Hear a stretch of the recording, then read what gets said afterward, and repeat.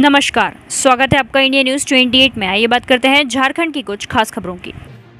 झारखंड के धनबाद के निरसा में श्री गोकुल स्टोर खटाल में शॉर्ट सर्किट से लगी आग, लाखों की संपत्ति जलकर खाक।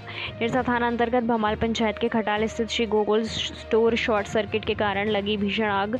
जब तक आग पर काबू पाया जाता, स्टोर में रखे दूध के पैकेट चोकर सहित सब जलकर खाक हो गया। भुक्तभोगी ने बताया कि रात में मेरी जब नींद खोली तो देखा कि आग लगी हुई थी। जब तक आग पर काबू पाते घर में रखा और लाखों रुपए का संपत्ति जलकर खाक हो गई। वहीं इस संबंध में मुख्य प्रतिनिधि योगेंद्र यादव ने बताया कि शॉर्ट सर्किट के कारण लाखों की संपत्ति चलकर खाक हो गई है। मैं प्रयास करूँगा कि उन्हें प्रखंड की ओर से मिलने वाली सहायता राशि जल्द से जल्द प्रदान करवाने का प्रयास किया जाए। धनबाद जिला ब्यूरो पप्पू केवट की रिपोर्ट। होगा लगभग और यह कब का घटना है? ये सत्रह तारीख को रात को दो बजे हम सोच के लिए निकले। उस टाइम शॉर्ट सर्किट से ये घटना घटा है। तो देखें शॉर्ट सर्किट में सारा सामान मेरा जल के राख हो गया है।